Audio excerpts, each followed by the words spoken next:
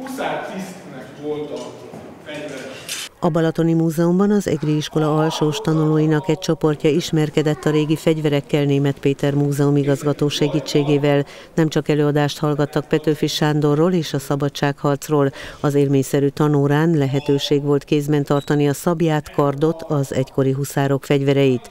A múzeum évről évre helyszínt biztosít az iskola ünnepi programjának, amihez kapcsolódik egy festőverseny is. Idén a témát is a Balatoni Múzeum adja, hiszen az 1848-49-es forradalom és szabadságharchoz kapcsolódik, hiszen idén 200 éve, hogy megszületett Petőfi Sándor, úgyhogy erre is emlékezünk, és így a Ebben a témában tartunk foglalkozásokat a legkisebbeknek, ugye óvodás korosztály is van, illetve aztán az általános iskolásoknak is több, több korosztályban.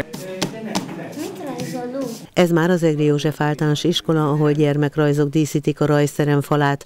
A tanulók névadója, a Balaton festője Egri József is a jeles napon március 15-én született.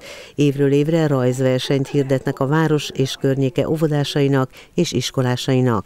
Ebben az évben viszont ez a festőversenyünk egybeesik Petőfi születésének 200. évfordulójával, ezért úgy gondoltuk, hogy összekötjük a festőversenyünket most a 48-as eseményekkel, illetve Petőfi emlékével.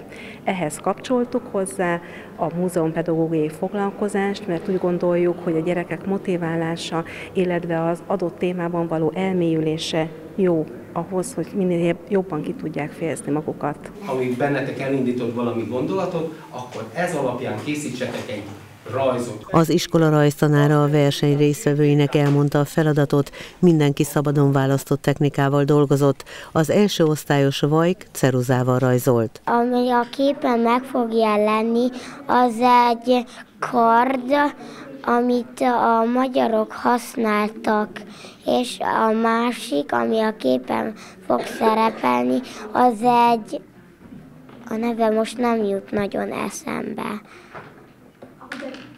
De hogy néz ki, arra emlékszel? Igen, egy szuranyos pus, puska. Vajk barátja Ignác el is mondta, miért azt a puskát rajzolták a versenyen. Azért egy szuronyos puskát rajzolok, mert arról sokat is tudok, meg szeretem a lövőfegyvereket, de még a képen meg fog jelenni egy pisztoly, és aki fér egy kard is. A szivárványszínű Balaton elnevezésű hagyományos rajz és festőversenyen Keszthely és térségéből több korcsoportban három óvoda és öt általános iskola vett részt.